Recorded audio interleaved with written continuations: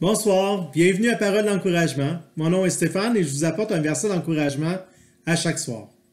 Et ce soir, je vais aller avec vous dans Psaume 46 au verset 2 et 3. Je vais le lire. Ça dit Dieu est pour nous un refuge et un appui, un secours qui ne manque jamais dans la détresse. C'est pourquoi nous sommes sans crainte quand la terre est bouleversée. Présentement, la terre est bouleversée, mais qu'on soit sans crainte parce que Dieu est là. Et Dieu a toujours vaincu. Il est un vainqueur. Et qu'on aille se réfugier dans ses bras, afin que Dieu puisse être un refuge pour nous quand on est dans la détresse. Que Dieu vous bénisse et on va terminer avec la prière qui est faite par mon épouse Nancy. Coucou! Merci Stéphane pour le, les super versets. Que Dieu est un refuge. Dieu, est un refuge pour celui qui veut se réfugier en lui. Hein? On peut rester à, côté et pas être réfugié. fait qu'on va prier pour qu'on puisse tout de suite se réfugier dans ses bras à chaque fois qu'il y a quelque chose.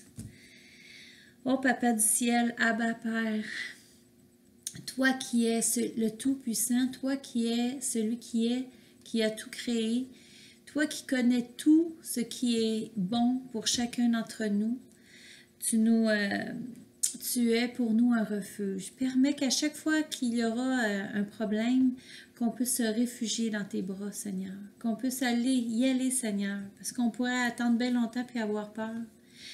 Quand on a peur, c'est parce qu'on n'est pas dans tes bras d'amour, Seigneur. Fait que permets qu'on puisse se diriger toujours vers toi pour n'importe quelle situation, Seigneur. Que ce soit euh, très grave, que ce soit minime grave, que ce soit pas grave.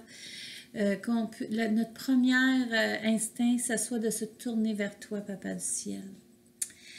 Tu es un secours qui ne manque jamais dans la détresse. Euh, si je te vois nous tendre la main, puis c'est à nous, encore une fois, c'est à nous de, la prendre ta main.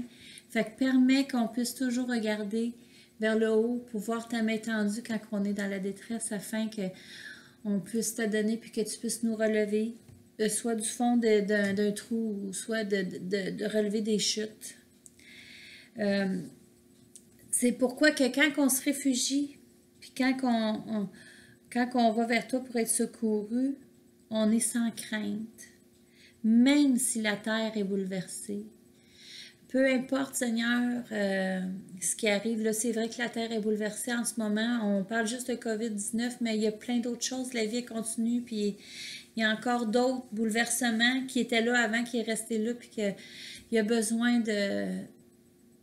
qu'on a besoin de toi pour régler toutes ces choses. Fait qu'on vient à toi euh, pour, pour, que chaque personne puisse se, venir vers toi, Seigneur, pour peu importe la situation de sa vie. Euh, je te prie, Seigneur, qu'on puisse être toutes dans la paix pour que euh, la terre soit, wow, soit surprise de, voir comment que le calme est là, Seigneur. On veut porter fièrement ta bannière, nous, tes fils et tes filles, Seigneur, pour euh, démontrer quel Dieu puissant tu es. Fait que viens nous relever, nous fortifier afin qu'on ne soit pas euh, un, un, peuple abattu, mais qu'on soit un peuple victorieux à cause que tu es notre Dieu. On t'aime fort, Papa du ciel. Puis, euh, on veut être vraiment solide, des fils et des filles bien fondés dans la parole de Dieu. C'est au nom de Jésus que je te rends ces choses et pour ta plus grande gloire. Amen. Ben, je vous souhaite euh, d'aller prendre la main de Dieu. Je vous souhaite d'aller vous réfugier en lui.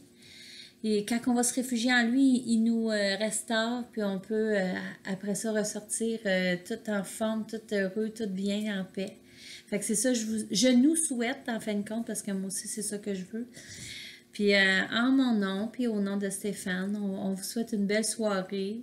On vous dit encore euh, que Dieu vous garde en bonne santé physique, vous garde en bonne santé spirituelle, vous garde en bonne santé émotionnelle. Euh, que ce confinement n'ait aucun pouvoir sur vous, que la liberté en Jésus reste, euh, soit empreinte de vos corps, de vos vies, de vos esprits.